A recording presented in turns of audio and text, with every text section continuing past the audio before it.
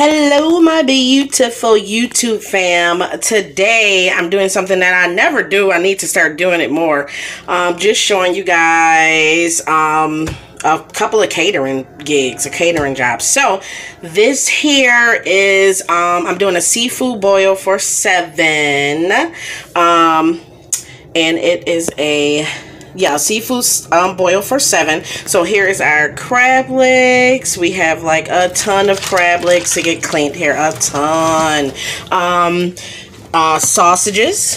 Here's our variety of sausages. We're going to chop those up and toss them in a pot as well. I already, um, I like to make my butter sauces way ahead of time because as it settles, it just gets more flavorful. So, um, this group wanted regular butter sauce and all the garlic and stuff is at the bottom so good so flavorful and then of course we did our seafood butter sauce which is like has the onions the ginger all in there um here is our um shrimp just a huge pan of shrimp. We're going to get those in there. We got our big pot, nice with the seasoned water in there. We have our crab boil. We have some uh, lobster tails and some mussels in there still to get at. We have some fresh broccoli.